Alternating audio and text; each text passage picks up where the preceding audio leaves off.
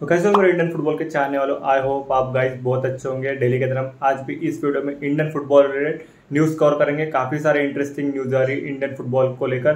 तो गाइस चलिए शुरू करते हैं हमारे आज की इस वीडियो को और हमारा आज का फ़र्स्ट टॉपिक होगा आकाश मिश्रा। तो guys Mumbai city FC Hyderabad F के साथ आ, सारे टर्म्स एंड कंडीशन एग्री कर रही है। मुंबई सिटी एफसी अब फाइनली साइन करने जा रही है आकाश मिश्रा को।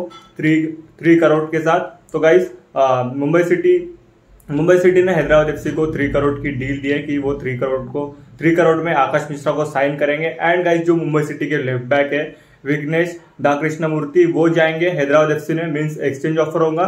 लेकिन मुंबई सिटी एफसी आकाश मिश्रा के लिए थ्री करोड़ भी स्पेंड करेंगी। एंड गाइस ये काफ़ी इंटरेस्टिंग न्यूज़ है फ्रॉम मुंबई सिटी एफसी। अगर हम बात करते हैं मोहन बगान सुपर जायंट्स की तरफ़ से तो guys Mohun Bagan super giants Akash Mishra को डील दे रही थी कि वो वन ईयर का कॉन्ट्रैक्ट साइन करे as a loan deal and then उसके नेक्स्ट ईयर में मोहन बगान सुपर जायंट्स आकाश मिश्रा के साथ कंफर्म डील साइन करने वाली थी, लेकिन लेकिन मुंबई सिटी एफसी ने काफ़ी अच्छा कॉन्ट्रैक्ट दिया है आकाश मिश्रा को थ्री करोड़ के साथ एंड हो सकते हैं कि वो इस सीज़न के सबसे महँगे सेंटर बैक डिफेंडर हो इंडियन सेंटर बैक डिफेंडर तो गाइज़ आपके क्या ओपिनियन है? क्या मुंबई सिटी एफसी के साथ आकाश मिश्रा डील कंफर्म करेंगे? और मोहन बगान सुपर जायंट्स एक और नया एंड इंटरेस्टिंग कॉन्ट्रैक्ट देगी आकाश मिश्रा को। यह हमारे कमेंट सेक्शन में ज़रूर बताएगा मूविंग टोड और नेक्स्ट न्यूज़ तो गाइज़ वो आ रही है चेन्नई एफसी की तरफ़ से। तो गाइज़ फाइनली चेन्नई एफसी ने ऑफिशियली रिवील कर दिया है कि जो उनके हेड कोच थे थॉमस बैट्रिक वो उनका डिपार्चर होने वाला है चेन्नई एफसी की तरफ़ से। तो गाइज़ ये काफ़ी लंबे समय से न्यूज़ चल रही थी कि थॉमस बैट्रिक डिपार्ट होने वाला है चेन्नई एफसी की तरफ़ से। एंड गाइज़ जो न्यू हेड कोच होने वाले हैं, उनके बारे में अभी तक कोई न्यूज़ नहीं आ रही है। जो इंडियन फेब्रिजो रमानो है मार्कोस उन्होंने काफ़ी सस्पेंस बनाया कि कोई तो न्यू अच्छा हेड कोच आने वाला है चेन्नई एफ़ की तरफ़ से। एंड गाइज़ अगर आप चेन्नई एफ़ के फ़ैन हो एंड आपको जरा सा कुछ आइडिया होगा कि कौन वाले होने वाले हैं चेन्नई एफ़ के न्यू हेड कोच क्या वो ओल्ड हेड कोच है चेन्नई एफ़ के? और कुछ कोई नया हेड कोच आने वाला है चेन्नई एफ़ में ये हमारे कमेंट सेक्शन में ज़रूर बताएगा।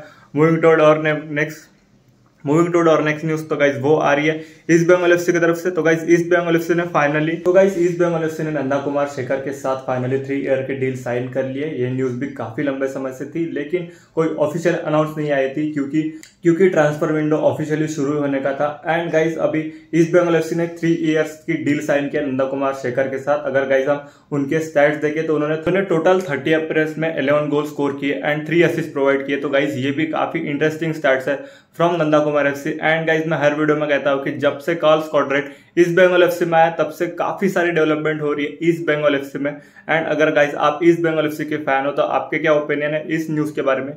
इस, ये हमारे कमेंट सेक्शन में ज़रूर बताएगा। मूविंग टोड और नेक्स्ट न्यूज़ तो गाइज़ वो आ रही है केरला ब्लास्टर्स की तरफ़ से। तो गाइज़ जो इंटरेस्टिंग ट्रांसफ़र चल रहा था केरला ब्लास्टर्स एंड मोहन बागान के बीच केरला ब्लास्टर्स की तरफ़ से हॉर्डीपम एंड मोहन बागान सुपर जायंट्स की तरफ़ से प्रीतम कोटाल ये दो प्लेयर एक्सचेंज होने वाले थे। इस डील में टीम्स का ही काफ़ी फ़ायदा होगा क्योंकि प्लेयर्स एक्सचेंज हो रहे हैं उन्हें जा, और उन्हें ज़्यादा ट्रांसफ़र फ़ी नहीं देनी पड़ेगी। एंड गाइज़ ये डील हो रही है थ्री ईयर्स के लिए। तो गाइज़ हमें अब थ्री ईयर्स प्रीतम कोटाल जो मोहन बगान सुपर जैंट्स के कैप्टन थे वो अब हमें दिखेंगे। केरला ब्लास्टर्स में क्या उन्हें केरला ब्लास्टर्स कैप्टन का बैंड कैप्टनशिप का बैंड देगी या नहीं, ये काफ़ी इंटरेस्टिंग होगा, क्योंकि गाइस उनके जो कैप्टन थे, वो है एड्रियल लूना एंड जो केरला ब्लास्टर्स के प्लेयर है हॉर्नी पंप वो जा रहे हैं मोहन बगान सुपर जाइंट्स में. एंड गाइस हॉर्नी पंप क्या हमें एएफसी एशिया कप में दिखेंगे कि नहीं, ये भी काफ़ी इंटरेस्टिंग न्यूज़ होगी. अगर उनके स्टैट्स देखे तो वो काफ़ी अच्छे थे, उन्होंने काफ़ी सारे अपेयरेंस किए. शायद से ट्वेंटी टू अपेयरेंस किए थे केरला ब्लास्टर्स की तरफ़ से. तो गाइस ये काफ़ी इंटरेस्टिंग न्यूज़ है from Mohun Bagan and Kerala Blasters moving dot और नेक्स्ट न्यूज़ तो गाइज़ वो फिर से आ रही है केरला ब्लास्टर्स की तरफ़ से। ब्लास्टर्स टारगेट कर रही है डिएगो कोंजालेस जो खेलते हैं लालिका के एल की तरफ़ से। तो गाइज़ उन्हें काफ़ी एक्सपीरियंस है सेंटर बैक पोजीशन पर। एल की तरफ़ से वो सेंटर बैक पोजीशन पे खेलते थे।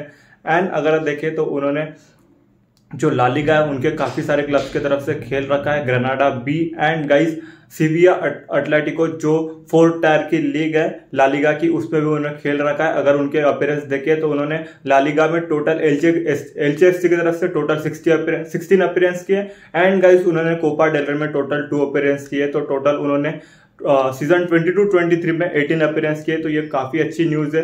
क्या केरला ब्लास्टर्स इस सेंटर बैक को साइन पर कर पाएगी नहीं, क्योंकि वो ऑलरेडी काफ़ी फाइनेंशियल प्रॉब्लम से गुजर रहे हैं, क्योंकि हाल ही में एआईएफएफ के डिस्प्यूटरी कमेटी ने उनकी अपील रिजेक्ट की है एंड उन पर अभी फोर करोड़ का फाइन भी है। तो क्या इस फाइनेंशियल कंडीशन में वो फॉरेन के काफ़ी अच्छे अच्छे प्लेयर साइन करेंगे कि नहीं? एंड ऑलरेडी उन्होंने जो ऑस्ट्रेलिया के ए लीग के प्लेयर है जोशुआ सुतरिया उन्हें भी साइन कर रखा है। तो गाइस क्या लगता है आपको क्या केरला ब्लास्टर्स इस डील को क्रैक कर पाएगी नहीं? एंड क्या हमें जो लालिगा के सेंटर बैक डिफेंडर है, क्या वो इंडिया में दिखेंगे? यह हमारे कमेंट सेक्शन में ज़रूर बताएगा।